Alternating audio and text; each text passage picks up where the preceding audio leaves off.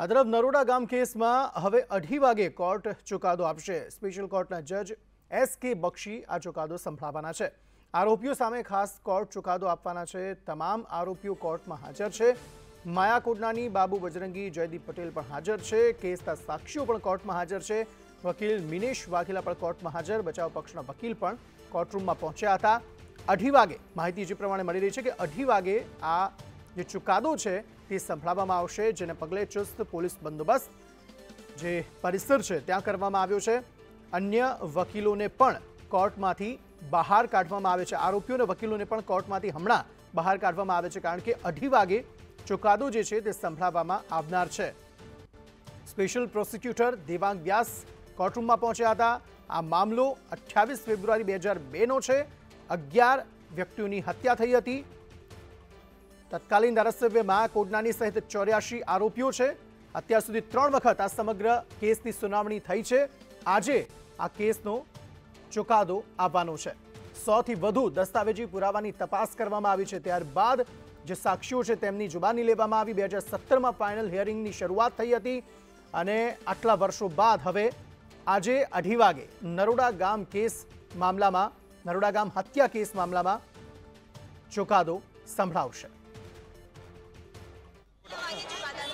કોઈ દલીલો ના હોઈ શકે માત્ર કોર્ટે સાડા અગિયારની આસપાસ જાહેર કર્યું કે ચુકાદો ત્રણ વાગે જાહેર થશે. જરૂર એટલે ચુકાદો છે તે અઢી ત્રણ વાગ્યાની આસપાસ આવે તેવી સંભાવનાઓ છે તે જોવા મળી રહી છે. કેમેરામેન મેહુલ પટેલ સાથે દિવ્યા ચૌહાણ સંદેશ ન્યૂઝ અમદાવાદ. તો હાલ માહિતી અઢીથી ત્રણ વાગ્યાની આસપાસ આ જે ચુકાદો જે છે તે સ્પેશિયલ કોર્ટ દ્વારા સંભળાવવામાં આવશે.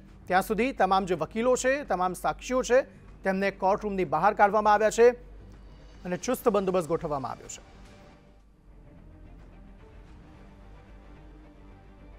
को डिस्चार्ज किया हुआ है सर माया कोटनानी बाबू बजरंगी इन लोगों पर भी आज फैसला होगा सभी आप एक्यूज है जो भी एक्यूज है उनका फैसला आज होगा मैडम सर जो नरोड़ा पाटिया का केस था उसमें भी सजा सुनाई गई थी तो कितनी सजा की उम्मीद यहाँ देखो बहन अभी ये कोर्ट के लिए पेंडिंग सब्जेक्ट है इसके लिए नो कमेंट जब जजमेंट आएगा अ, हम इंतला सबको कर देंगे ठीक